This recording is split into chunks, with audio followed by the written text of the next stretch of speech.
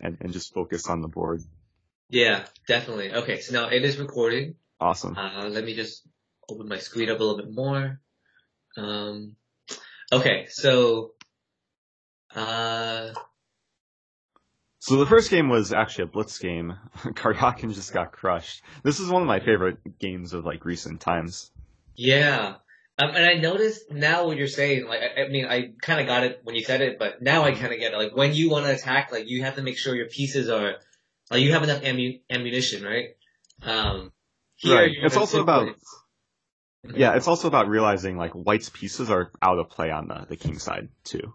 Ah, So sometimes it's about recognizing the factors which will lead you to perhaps finding uh, finding the right attacking resources. But Yeah. yeah. in this case, black is so much more well prepared to attack than white is to defend.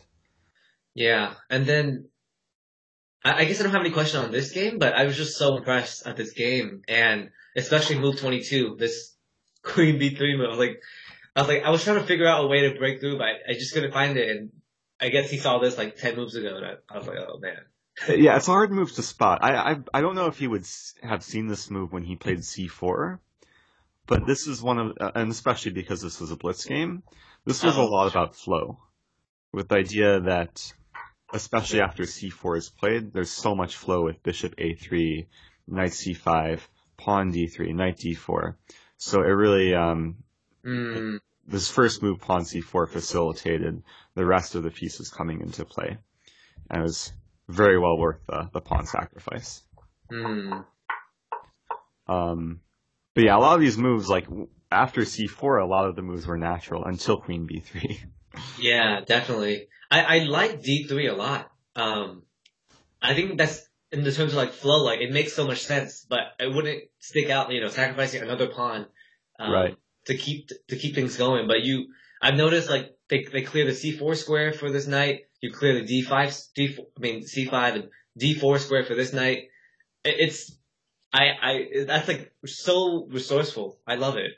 yeah, um, and this is actually a major theme in this game, and I think the other game between was Shabalov Kacheishvili, Yeah. where pawn sacrifices were made uh, for clearance.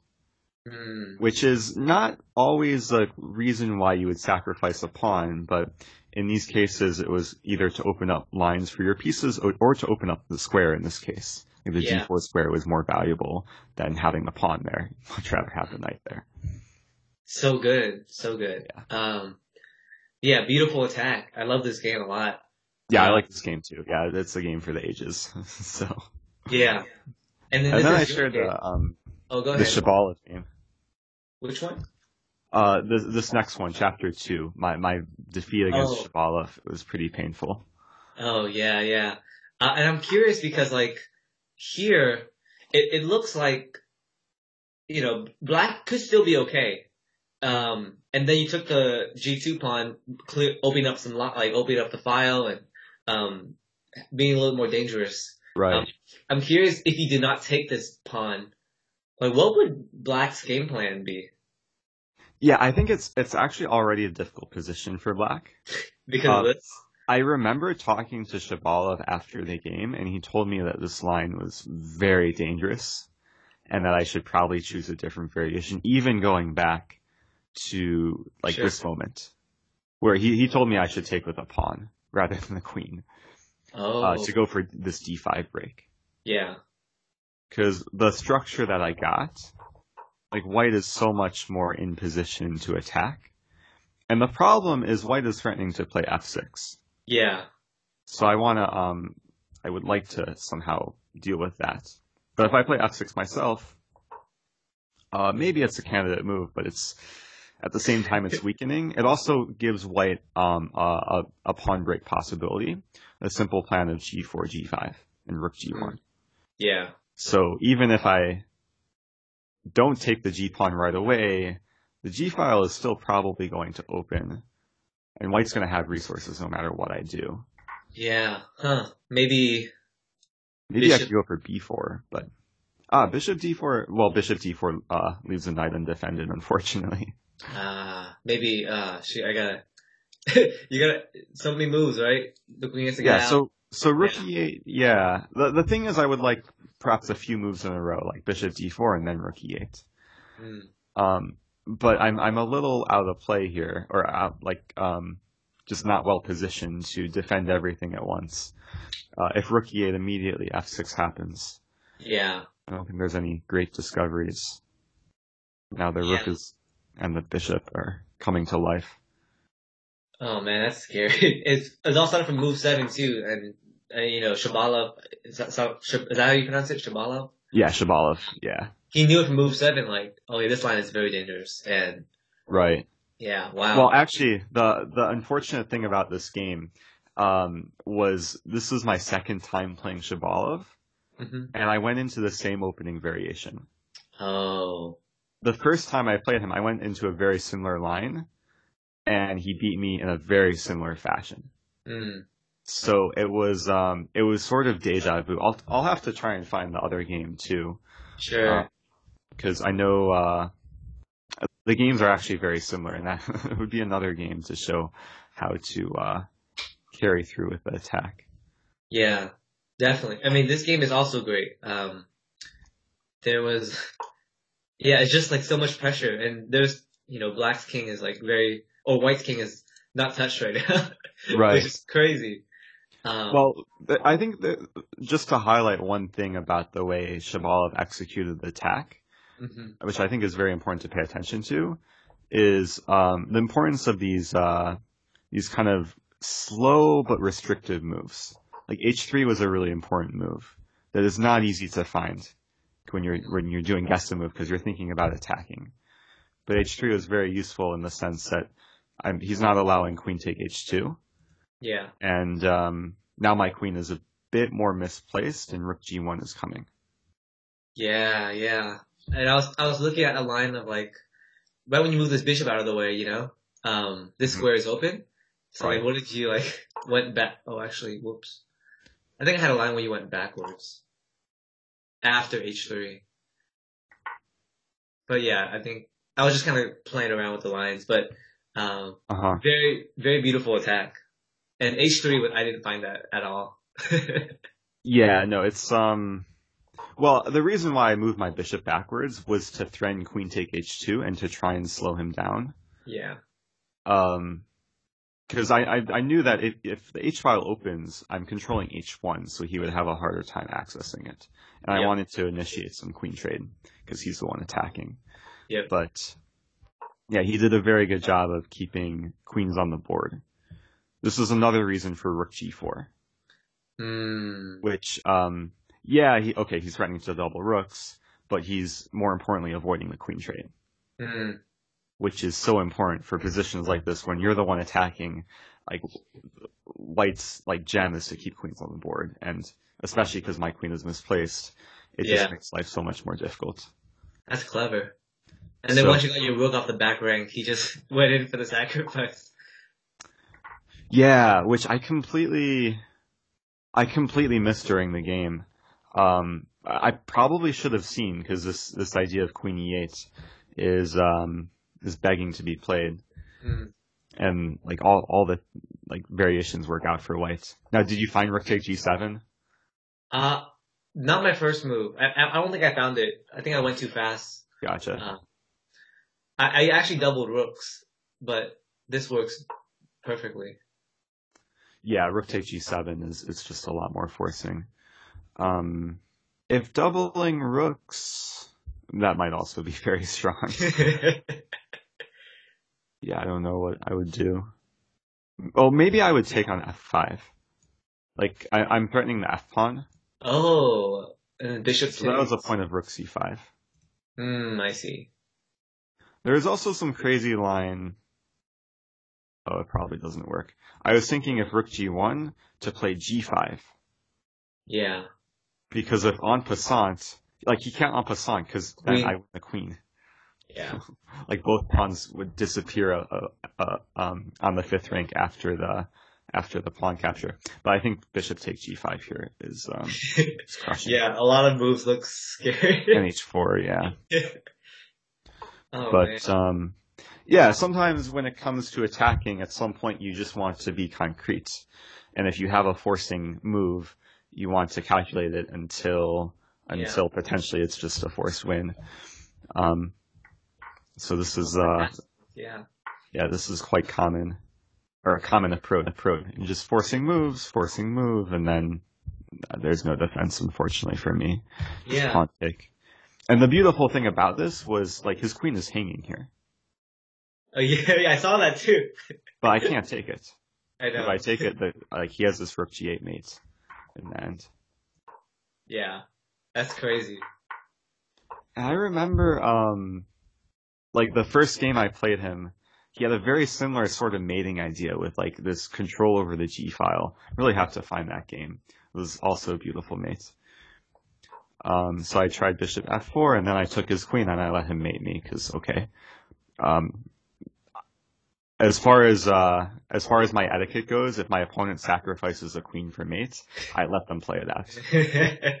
So. oh, fantastic. That's good. Oh, Uh, yeah. So yeah, tough game. Um, then- but like I learned a lot from this game in terms of how like how he attacks. And Shabalov especially has a very like aggressive attacking style, which is like, if you're looking to like play more aggressively, then I would suggest looking at more of his games.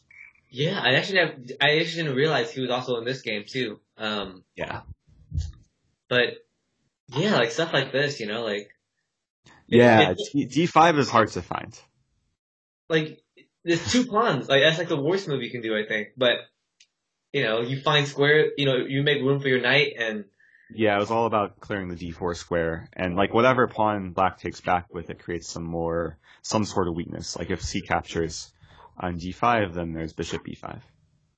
yeah, And this is actually a thematic thing. Like this is one of the first things you should look for if your opponent's king is in the center and you're castled. Then you want to look for ways to open the center. D5 is a very extreme way to do so, but it's very effective here. yeah, that makes sense. I mean, all his pieces are. and a rook on the seventh. You know, it's pretty nuts. Right. And okay, black's up a pawn. So like sometimes this is how grandmasters will play. Like they'll grab a pawn and they'll try and survive, Yeah. and then it's up to the opponent to kind of make use of their temporary initiative. Mhm. So in this case, it um, it it turned out to be very strong for white. Um, I nice. apologize for the dog barking in the background. Oh, you're fine. All right, awesome. I would love to I'll see any new games or any any new lessons around middle game strategy that you have prepared or Yeah, Yeah. there's a few games I thought we could walk through um, between this study and um, the the middle game strategy study. mm, I just thought of a another game because I was talking about like these concrete sacrifices. hmm um, very similar to this this rook t- take g7 move in the Shabalov game. yeah. So I thought maybe I can give you some exercise and also should show you like a nice opening uh, opening preparation too. Let's do Uh, it. a new board. By the way, I've been playing the four knights with A3. so ah, yeah, I saw one of your games um, recently Oh, you did? where it worked out. Um, well, one of your online games on Lichess Oh, nice. within the last few days. And like the center fork trick, the guy played bishop c5, you took on e5, you got a great position, and Yeah. then you blundered your queen at some point. You played queen c3, and that was really sad. oh, I'm sad you saw that. Yeah. And I was like, oh, you saw my game. Uh oh, I, I.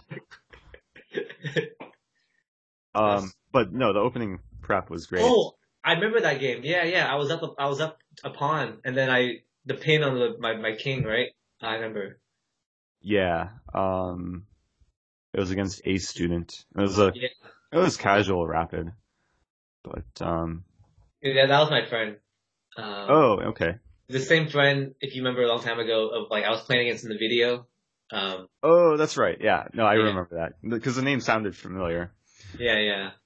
Okay. Um, but yeah, actually, you, you played the opening very well because he went into a tricky line.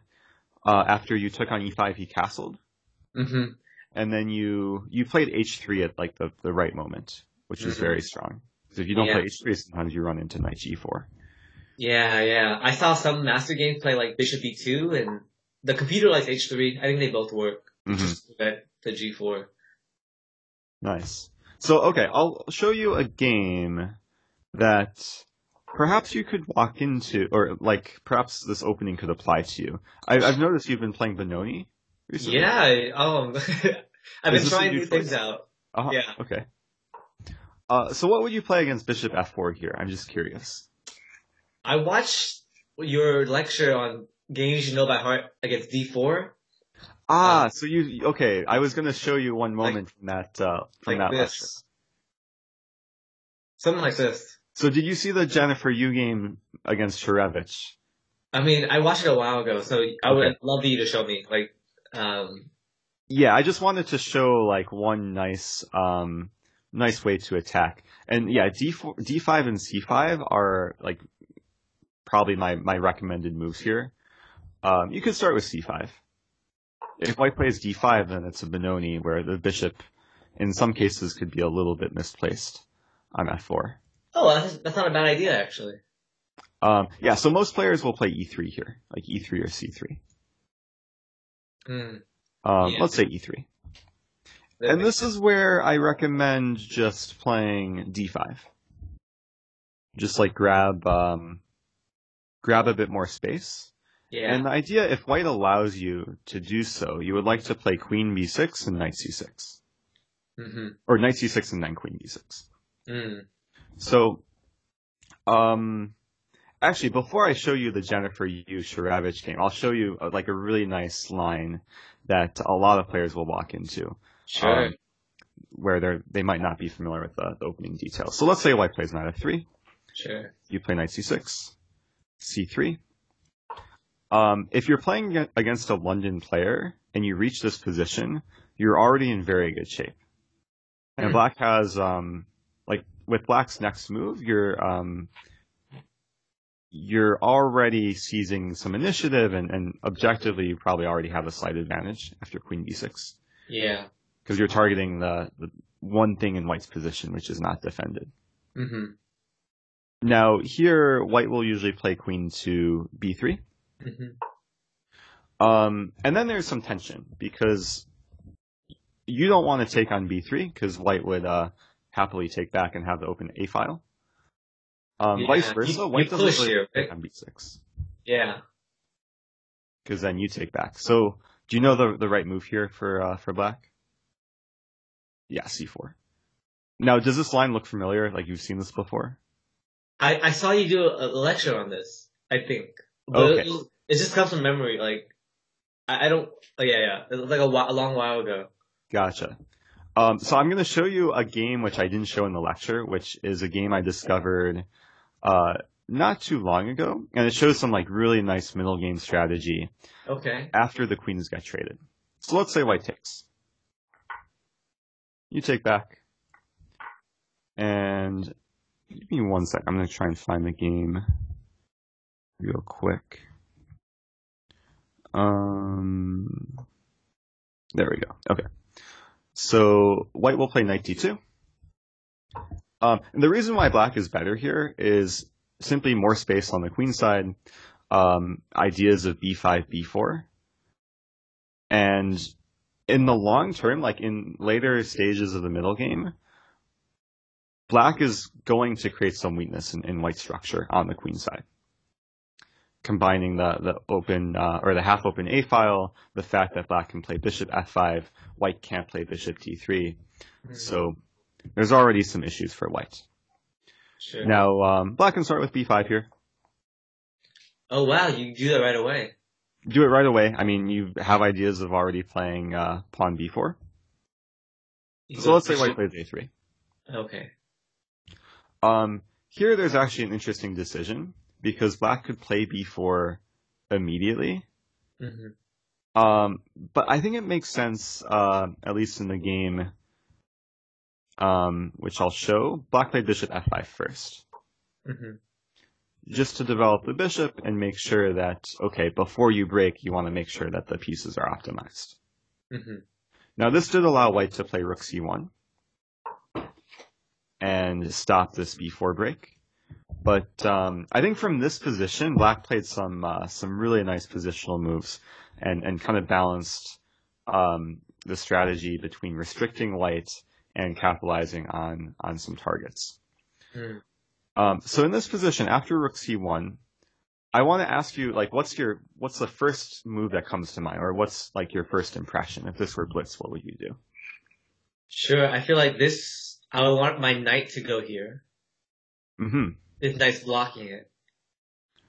This is also a very good outpost for my other knight. Mm-hmm. So somehow getting this the the knight on D two off, so my uh my knight can can go here. Um, right. That might be hard to do. The knight on D2 is so solid, right? It is very solid, and then this knight can retake. They support Um, each other. Um.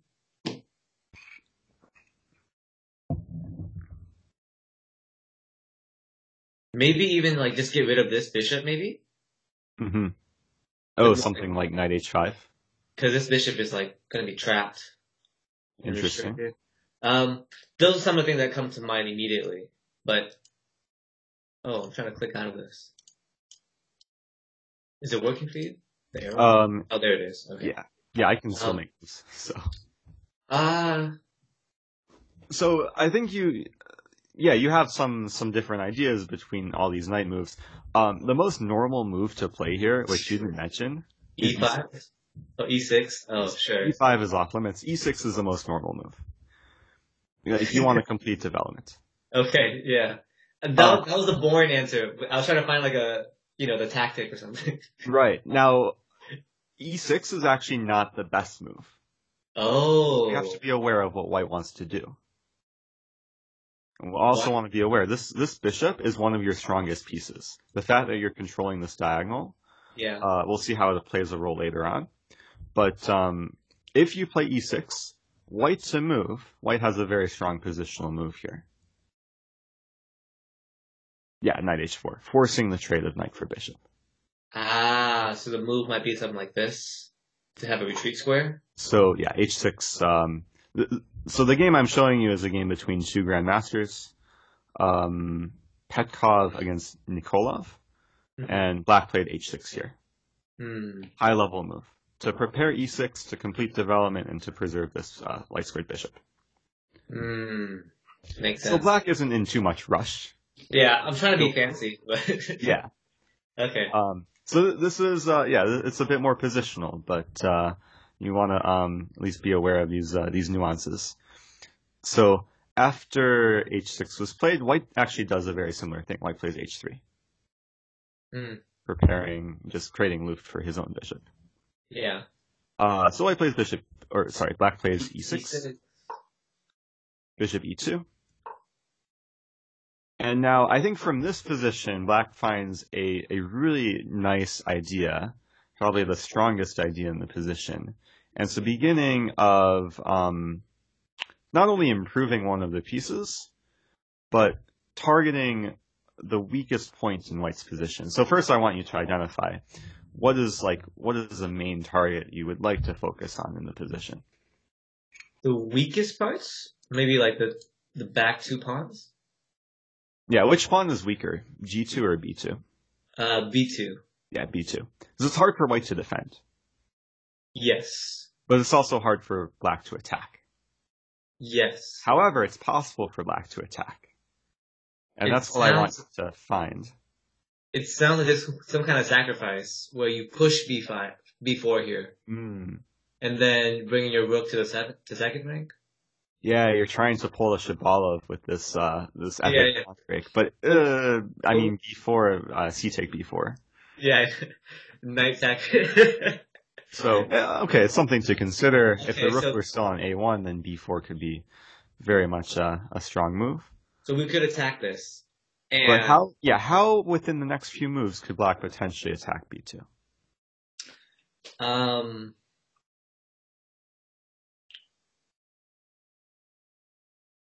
So I'm, I'll eliminate some options like this bishop can't attack. That Right. because it's different color. Um. You have to be a, a little bit imaginative here, a bit creative. Oh man, like the I,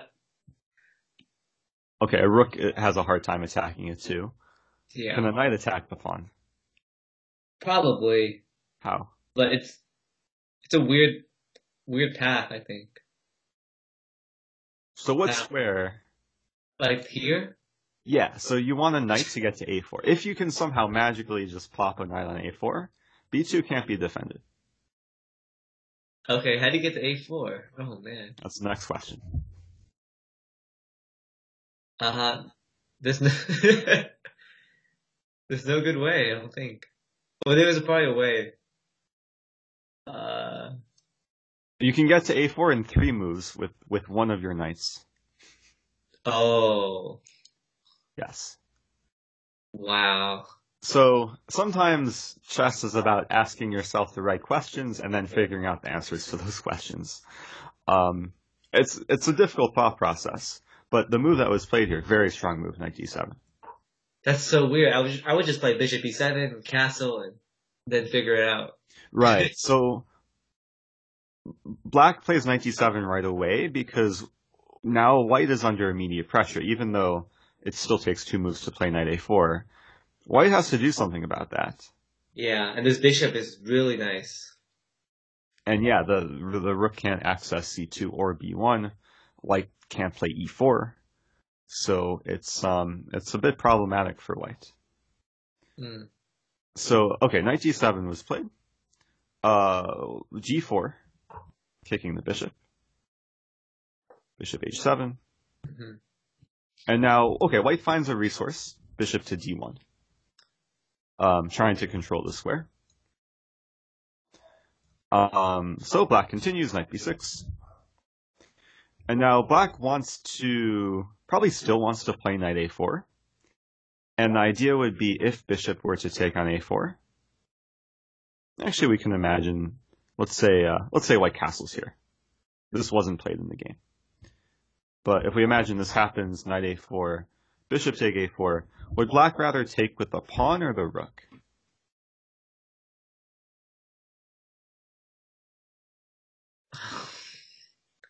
I would naturally the pawn, but it sounds like the answer is a rook.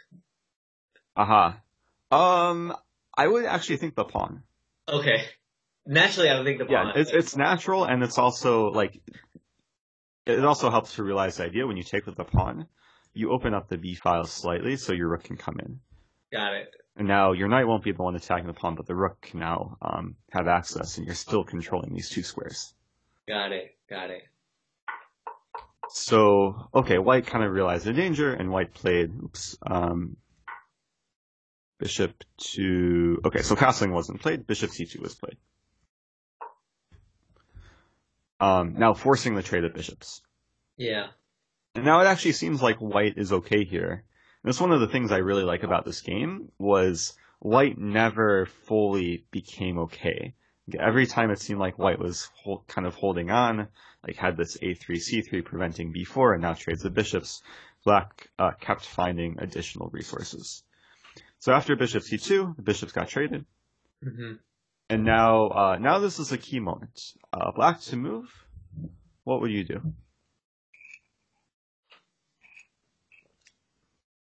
Maybe push now because the back rank is empty. Yeah, b4. Very strong move. Wow. First one right today. Okay. Yeah, very nice. the, the, the pawn is pinned to, in this case, the pawn is pinned to a square. yeah. And uh, it's a very nice idea with the king still being on e1. So the a pawn can't take. If the c pawn takes, I would assume something like knight take b4 is going to be crushing. hmm So the rook is uh, is essentially trapped. Like if rook, yeah, if rook c3, you have knight d3 and knight a4, and white's just falling apart. Yeah. So white's already in big trouble.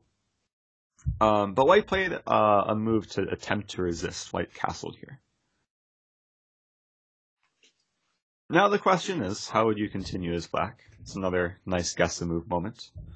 Make this a main line. Um.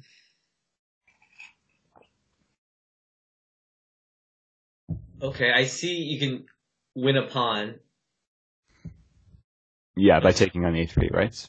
Yeah, or even yeah, take on a3, but that opens up the b file, and I think that gives some some counterplay. That's true. Uh, the second thing that comes to mind is closing everything, but I'm not sure not sure what that accomplishes after hmm just rook moves. Um, possibly taking on c3 and then playing knight a4. Mhm. Um, I think you, the- yeah, you've identified like the three main options. Like, yeah, you, you take either direction or you play b3. Yeah. This looks more promising. I feel like. Yeah, take on c3, rook takes c3, knight a4, rook c2. I mean, black has some nice pull in this position. I mean, you can continue with maybe b5, Yeah. eventually b4. Um, but this is not the strongest continuation. Ah. so was it one of the three main moves? Yes. So what's really important is that you kind of you find the follow up um, to whatever move that you play, and the follow up I don't think is that easy. Um, so you were exactly right when you take on a3, you're Yeah. giving you're giving white counterplay on the b file. Like when you win the pawn, whatever you take back with rook b1 is coming. This is very unpleasant given that your this rook is out of the game. So um, so b3 was played. Huh. I remember when I first saw this game, I was, I was slightly shocked, given that b3 is usually a, a grave positional mistake for black, because black is closing down everything on the side, where I mean he has a space advantage. Now it doesn't seem like there's any further break. Oh, I think I get it. Why? I think I see why. So how does black continue? This rook has to stay put, right? Mm-hmm. If, if knight a4. So knight a4, rook b1. Yeah.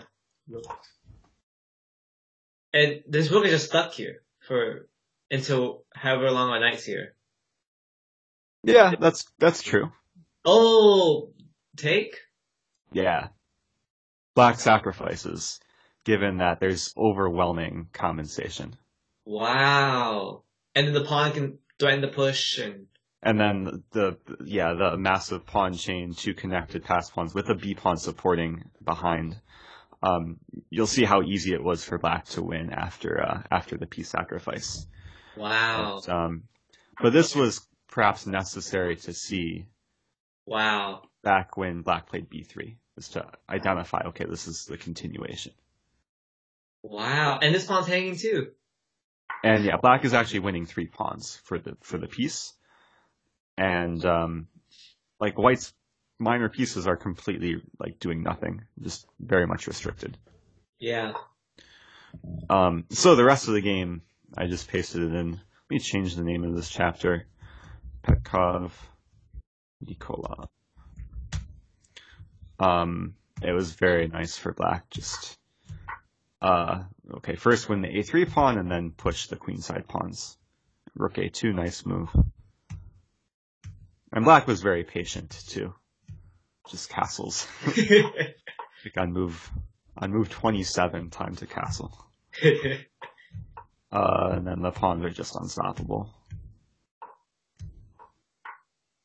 There's some saying like two pawns on the sixth rank are, are worth a rook. These pawns are pretty much worth a queen. Yeah, knight b3 was a nice finish. Dang. Okay, c1 is coming, and white black will at least be up a rook, if not more. Um, so I like this game because there is a lot of nice flow again, but much more positional nature. That's so good. It's so, And- so high level. Wow. Yeah, and we can argue that like black's black's flow started with queen b6, like this was the first move seizing the initiative, Mm. and then every move after this was either a threat or some like very understandable positional move. Yeah. h6 was very important to understand because I think a lot of people would would play e6 and allow knight h4. Yeah. And Wow, then this is this is a great line. I've had this position before. Uh, not this, but like maybe move seven. similar. Yeah, move after move seven. They take the queen. Like I've had that position. Except I Yeah, didn't. it's a very uh, very common structure for this opening.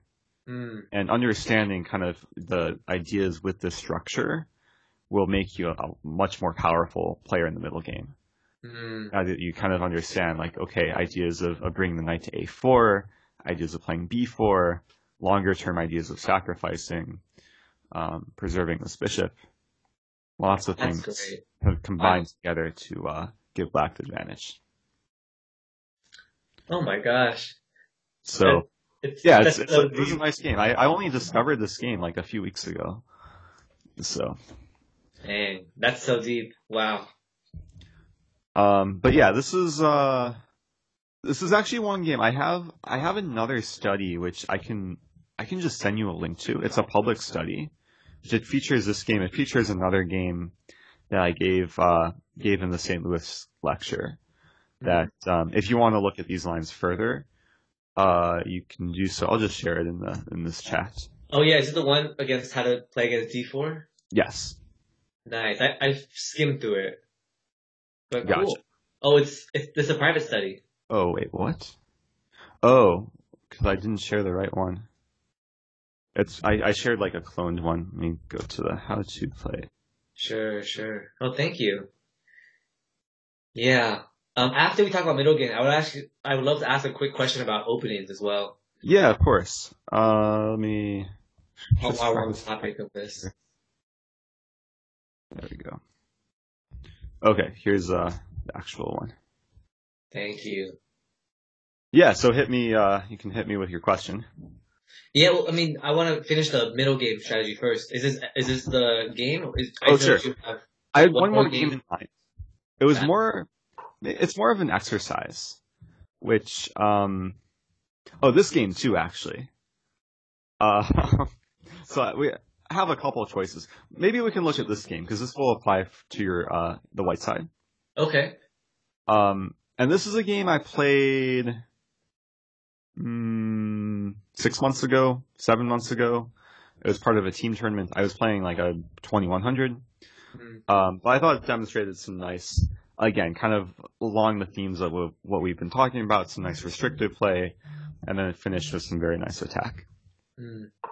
Um, so it came from uh, Sicilian, where I didn't play open Sicilian. I actually tricked my opponent uh, into playing uh, a line that maybe he wasn't familiar with, hmm um, starting with knight c3. And this is something you could do, like if because you're playing closed Sicilian, right, or Grand Prix attack. Uh, yeah, I just got the book actually. I haven't read it yet, but I just picked it up. That's awesome.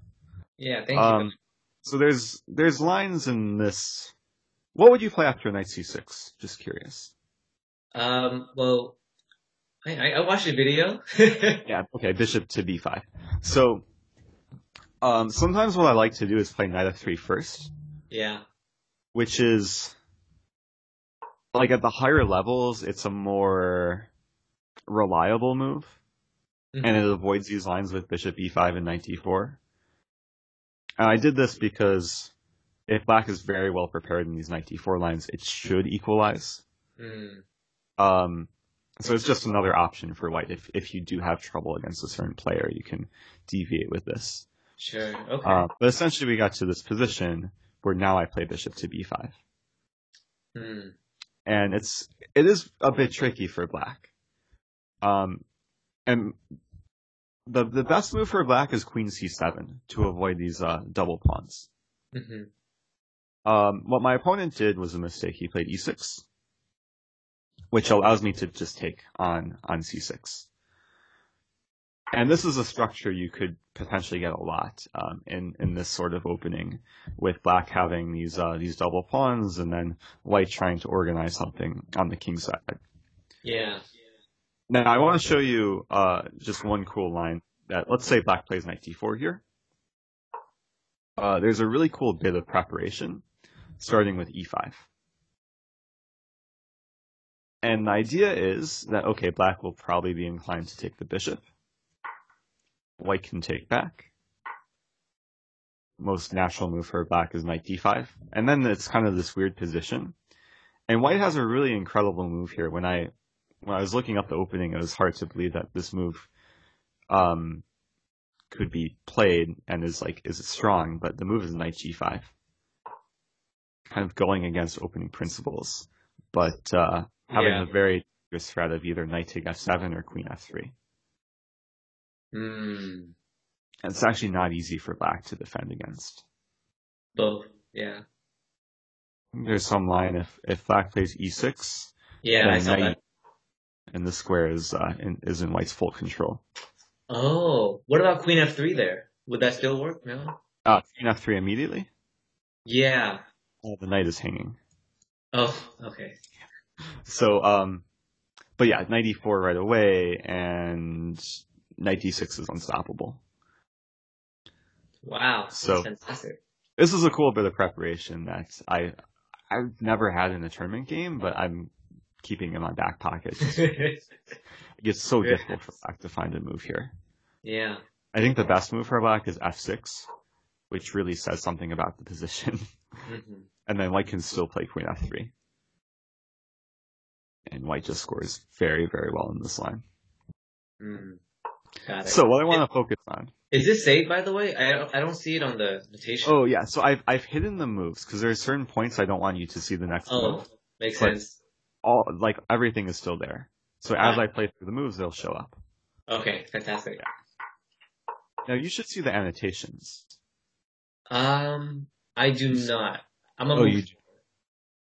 but I'll, I'll put in the annotations after the game. okay, cool, cool. Um, okay, so e6. We'll go forward here. Um, normally, if you're a Grand Prix player and you can take on c6 like this, it's uh, it's already pretty pleasant. Hmm. Um, I castle, should be seven, and now White has a couple options. I'll just go ahead and say I play e5, which is a very strong, like restrictive move, given that usually in the structure Black would like to someday play e5. hmm But after white plays e5, this bishop is just stuck. Mm. Really has no great way of developing. On top of this, I'm clearing the e4 square for my knight. Yeah. So I avoid any trade. I just get some nice space advantage. Um, and the idea from this position is actually to play something like c4. And then b3, c3, and uh, if white gets a structure, like all of black's minor pieces are just restricted. Like the knight would have to retreat. This bishop is dead. This bishop is restricted by the pawn on e5, and then white can focus on the, the king side. Mm. Um, so a lot of these moves, I'll just show you what happened. D3, um, Queen E2. I play Queen E2 because I didn't want to deal with potential C4 ideas, which is maybe what Black should have played earlier. Um, like even like in this position, Black should have probably played C4.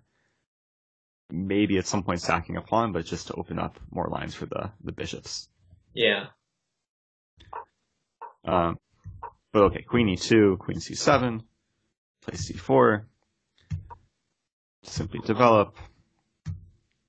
And um, again, I was being very patient because black really has no active play. Like black wanted to play a4 and fight for some space, so I just stop him. Now the knight is completely restricted. Uh, he moves back to d7. And I was very happy to put this bishop on c3 where it Mhm. supports the pawn, and it also has some X-ray vision against the king side. Yeah. Um, so so far, like up until this point, it was just about improving the, the pieces and, and restricting black. Um, but very soon we'll see how white uh, initiates some attack.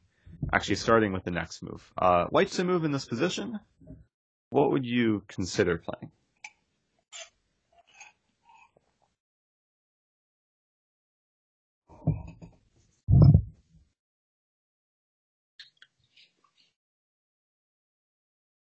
Wow. Uh, I was looking at.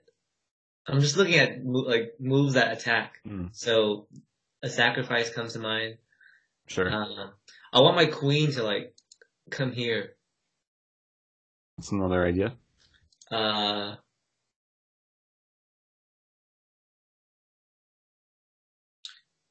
this wouldn't work. I would. I don't want to do that. Let's imagine this is like a real a real game situation. Let's say it's, you're playing a classical game. Sure. You have a lot of time on your clock. Sure. um, you already you're already spotting some options. Um, if you have enough time, the first thing that you want to start with is calculating knight f6. Yeah. By far the most forcing move.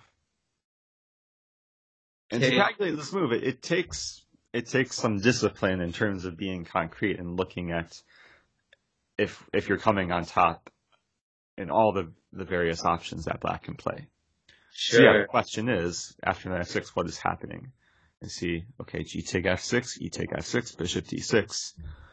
Seems like the most natural line. How can white continue from that position. Yeah. Maybe queen to e4 to go to g4. Mm-hmm, Queen e4. So the king will probably move out. Mm-hmm. The queen will go to g4. Yeah. the rook will go to g8. G8. And black is ready to play rook g6 next move. So after queen e4, king h8, maybe queen g4 is not the best move. Maybe something else is the best move. Yeah, so this is where you want to maybe start looking for ways to deviate. Also keep searching for ideas. Um, now, when I got in this position in my game, Yeah. I I was very much wrapped up in these lines with, with queen e4 Yeah. threatening queen g4, and I was trying to figure out how to respond to king h8, rook g8, and rook g6. And then I took a step back. Mm. Sometimes you, you want to you want to pause in certain positions and look for different types of options. Um, it turns out after knight f6, g take f6, e take f6, bishop d6, there's another reasonable move white can consider other than queen e4. Okay. Um. What's another candidate? Oh, this. Knight g5. Interesting. I'm just trying to think of other moves, right? Um. Knight g5 is very interesting. Just have space for my queen to come. Yeah, because if queen, if pawn takes g5, then queen h5, Yeah. and queen h6, queen g7 looks pretty unstoppable. Yeah. Is that Unless, the line? well, let's let's calculate. yeah. So let's play it out, but we'll play blindfold, or we'll Okay. play without moving the pieces. So you, you play knight f6, yes. g take f6, E takes f6. bishop d6, Knight g5. h takes g5, Queen h5. mm, rook to d8, Queen h6.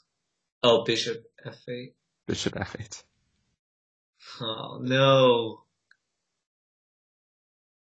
What else could you consider after rook d8? After yeah, after rook d8. Um. Oh, why not just take on g5? Yeah, that's another like main move. Um, then king f8. F8. Queen G7 check. King E e8. And you still have bishop, you still have bishop F8. Um, Right. So it gets fuzzy. Like it, it's one of these situations. Like if you if you can really dig through the forcing lines, then it might be worth investing the time to calculate. But it's sort of a judgment call. Do you go for knight f6, or do you just enjoy your position, given that okay, everything is is nice for white. Why take the risk? yeah, there's, there's very little risk to, I mean, you have to be so precise in this to make it work and you don't need to force it. Right. Okay. So it, it's so That makes, okay. So the higher level is just like, you can calculate all these lines, Tam, but, you know, why? Like, why, like, is this the best use of your time or, So it, it always depends on the situation. yeah. Uh, sometimes you have to use intuition. In this case, when when I was playing this game, I, I probably took like at least 15 minutes on the move. So I realized it was a very critical moment. If if the move is working, it's just winning. And I arrived at the conclusion that it's there's more than enough compensation, even if I if there's no immediate win. Oh. In all of these lines, black is very very close to getting mated. Hmm. And there's actually uh there's a line that might be even stronger than knight g5, which I want to point out. Sure. Um, so knight f6, g take f6, e take f6, bishop e5. You have a very good idea of cl- clearing the path for the queen with this idea knight g5.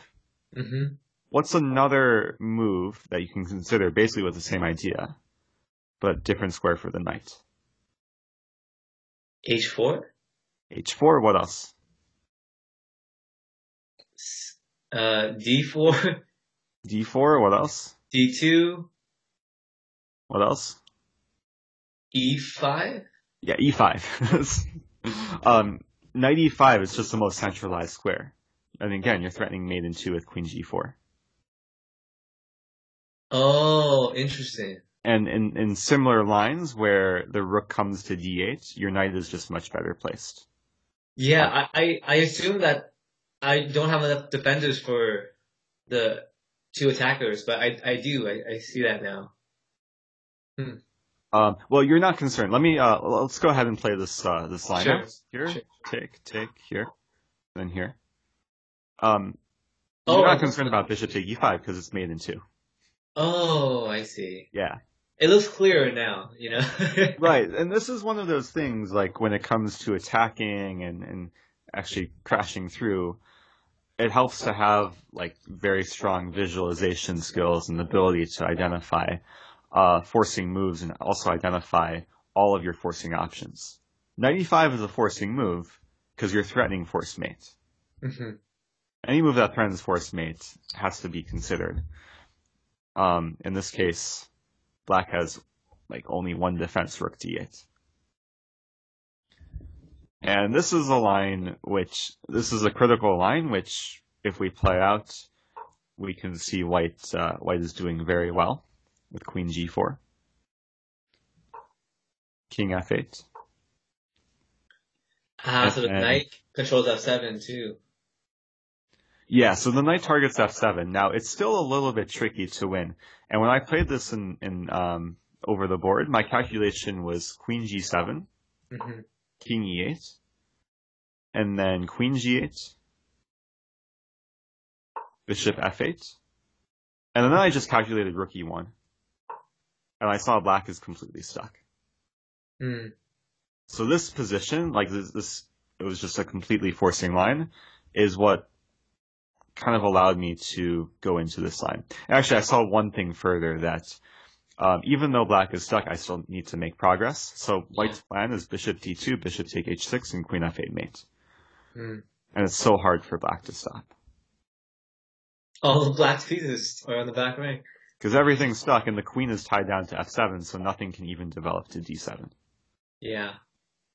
Wow. Um, now, actually, there, there's a stronger line after analyzing it with the engine. Sure. Uh, engine Question up with a very nice. Question before that, when you when you made the sacrifice, knight knight f6, right? Um, Did you see bishop d2 takes bishop h6 to eventually win on f? Yeah. So my calculation was, I'll just say the full line. Try and Yeah. follow along. My calculation was knight f6, g take f6, e take f6, Mhm. bishop d6, knight e5, rook d8, queen g4, king f8, queen g7, king e8, queen g8, bishop f8, rook e1, over defending the e5 pawn Mhm. to allow the bishop to come back to d2 and take on h6. That was my full calculation. So you saw the bishop d2 take on h6. Yes. Wow. Yeah. That that's that's impressive. So yeah, it sounds impressive, but it was um like it was a completely forcing variation Forcing, until until this moment where you have to like this moment with rook e1, you're kind of realizing that black is completely restricted. Hmm. Um, so it, it, and of course I had to find like some key moves. Like first I have to find knight f6, and then I have to find um, uh, where do I have the line? I have to find this knight e5 move too, which was very important Yeah. to block the bishop from potentially defending. Got it. So, just to illustrate one really nice line that the computer recommends, I don't have to play queen g7 here. I have bishop d2 immediately. Oh wow. And if the knight is taken, then it's force mate. Really cool force mate, bishop take h6. And, okay, this is something which, like once you consider bishop d2, then it, it's possible to calculate. Queen take f7 and bishop f8. And queen e7 mate next move. Wow. So, um, after calculating all of this, there was still one more critical variation I had to calculate, which is king h8. hmm where he just doesn't take the knight. And this is um, perhaps an easier line, given that, okay, I'm not even down a piece here. I can continue the initiative. Um, and I can actually make use of my knight on f6. Uh, I think I'll go ahead and just show you how the game finished because it was um, it was very direct. Queen e4, threatening mate. Mhm. He still can't take the knight. Play g6. Now it's very weakening to h6. And again, it's um, maybe a little bit reminiscent of the Karyakin game where like all the opponent's pieces are out of play on one side. I'm having so much fun on the other side. Uh, bishop d2. h6 can't really be defended. He played king g7. And now white to move mate in mate in a few. Find the force mate. Yeah, bishop taking h6. Very nice. Wow. Is this how the game unfolded? And this is how it ended. Yeah, he just resigned after Wow. taking. Um, so it, yeah, it took a long time to actually play knight f6, but it was well worth the investment. And sometimes you have to make this judgment whether you invest the time to go th- like look through these these very complex lines, Mm. or you you keep control. But in this case, there was just overwhelming initiative that Hmm. it worked out. That's incredible. Wow. So yeah, it was a nice game, and it's it's one of these things which is actually somewhat typical for this opening, where if Black doesn't play the opening correctly, like even starting with e6, he put himself in a very difficult situation, Uh, like not understanding the opening nuances, allowing this capture, hmm. Got it. and then his second mistake was probably allowing uh, or not playing c4 immediately, and then then it was just a, a clamp on uh, on the position. Sure. Okay. Can you show? Or I I went backwards. Um. Oh yeah. So let me um let me change the settings here. Thank you. Now Oh, you I see it now. yes. Awesome. Well, Ah, but this is uh the main line. Wait a minute. What did I do? oh, maybe That's- E6 is the main line. Yeah, yeah. Uh, knight f6. I just have to find where the game actually ended. Played king h8. Oh, so this is the main line. Okay. Wow. Fantastic. Yeah, thanks. so anyway, if you have opening questions, let me know.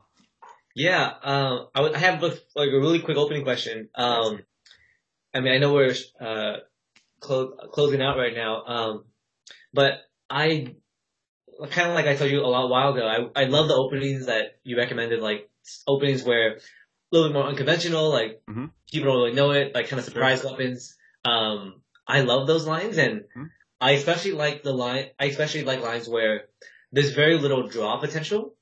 So the more wins or losses with black or white, like I'm like more drawn to them, which is why I chose the Benoni, even Nice. though white usually scores more than that. And I'm curious if you had any other uh, opening recommendations that I could like um kind of like lean in and like kind of poke around and, and play around and see if it might be a good fit for like my style and like this what I'm looking for. Sure. I mean, any so w- when it comes to recommendations, I can give you recommendations for white. Like if you're playing e4, I can give you recommendations against all the different main defenses. Um, against d4, I can give you a recommendation apart from Benoni, Hmm. uh, which would be Budapest Gambit. Budapest. I don't know if, if you're familiar with Budapest. It's like e, it goes E5, right? Uh, yeah, d4. I can make a new chapter here just to show you. Yeah, maybe our next coaching session could be around like just openings and, and tricky lines. Yeah, That'd certainly. Bud- like Budapest is one thing. Yeah. um, which I'm I'm very fond of. Now the thing is that it can be avoided by white, so if white plays knight f3, that's when you can switch to like Benoni or um, or even d5 if if uh white is going for a London. Hmm. But you don't know, right? So you just play. You can just play D. I guess you can. So I D5. would probably recommend c5. Yeah. Yeah. Then if white plays c3, this is a sign that white is going for a London. This is where you can play d5, and then try and get the same position which I showed with that London game. Wow. Everything transposes to each other.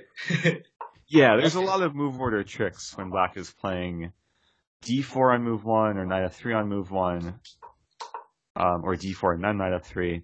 Okay, nice. So, um, and against e4, what you're playing Sicilian?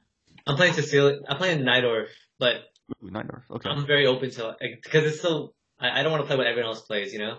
Because like the how you described the openings that you're the types of openings that you're looking for, I I don't recommend this to too many students, but maybe you'd be interested just having like a surprise weapon Yeah. playing knight f6. This is a gambit line. This is called the Stafford Gambit. Knight Okay. take e5, knight c6. Hmm. Uh, you give away a pawn straight away. This is a dubious opening, but I can't tell you how many games I've won straight from the opening with this. There's a ridiculous number of traps. okay. So But I, I can't use it in a tournament though, huh? I probably wouldn't say use it unless it's like a rapid tournament. Then it, I think it could be effective. Um, for for a classical tournament, if you want like another surprise weapon, I can also vouch for this line. I take e4, oh, this is the one with the queen e2 line. queen e2, queen e7. Yeah. It's also technically dubious, but a lot of players won't know it, and a lot of players will fall into one of two lines, either bishop f4. This is the main trap, where black wins the piece after f5. Yeah. I fell into this myself when I was 2300, so. Wow. Um, or players will also play bishop b5, after which bishop d7 gives black a very reasonable position. If you're ready to castle and win back the pawn. Nice. Um, those would be the, like, the first things that come to mind for black. Sure. Uh, Okay. For white. For white, it depends what you're, so you're playing e4, E4. Yeah. Just to make note of, so white suggestions. Let me just go through all the defenses. So against c5, you're playing knight c3, the Grand. Prix. Yeah. pursue. hmm Um, against e5, you're playing this four knights. Four knights. I actually don't know what to do after A3. Like, um, but I kind of just like you know the you know the center fork trick, right? Yeah, that's the only trick I know. But you also know d5, right? uh, yeah, you taught me that line as well. Yes. Yeah. Okay, that's good. Those are the two main ones. Yeah. Um, there's a funny line if they play g6, you can play uh, reverse Halloween's gambit with knight take e5. Hmm. um, which is actually like it's somewhat sound, surprisingly position, Somewhat sound.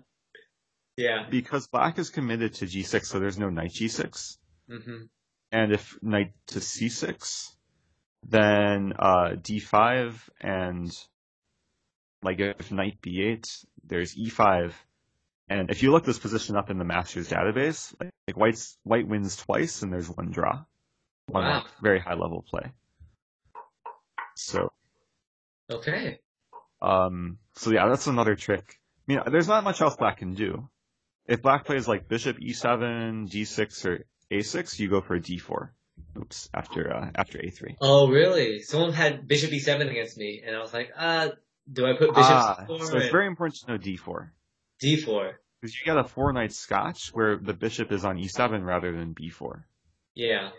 So this is uh, this is very nice for white. Got it. Okay, I'll look into that line for sure. Um, yeah, so I think e5 is good because also if they play Petrov, you just play knight c3. You can transpose. Got it. Okay. Um, so there's other, so e6. the French, yeah. What do you play against French? Uh, something like this. Okay. Um, if you're playing knight c3, there's basically three things you have to be ready for: knight f6, pawn take pawn, and bishop b4. Yeah. So this French is something I can give you a few like nice recommendations. Okay. I'll be happy to show you next time. Yeah. Maybe our next one could be about openings, because Yeah, it'd be cool to be prepared, you know, like, of, of all these different certainly. options. And okay, this gives me a good idea of, of what I can show you next time too, in terms of okay, what what exactly to play against French. And Caro-Kann would be like the last major opening. Sure, yeah. Um, Okay. But I'll I'll give you recommendations next time. I think that that'll be good to uh, to look over. Yeah, and I'll look up these, like Budapest, the Stafford defense, and Sure. Night scotch. Yeah, with the Budapest, I gave a lecture. Let me see if I can find it. On St. Louis? Yeah, I think it was called yeah Rosen's Awesome Miniatures.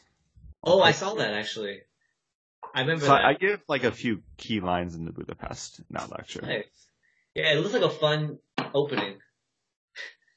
I didn't know how sound it was, but It, it's relatively sound. Like okay, if you're playing a Super GM, they might try and refute it, but yeah. at any other level, it's um no, it's very playable.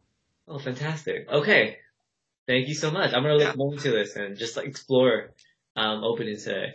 yeah, definitely. Feel free to play around and, and yeah, experiment, in, especially in your online games, because that's how you can very quickly learn new things. Sweet. All right. Thanks, All right, Eric. I appreciate it. You're welcome. Have a good day. Take care, Tam. Thank you. You too. See you next time. Thanks. Bye. Later.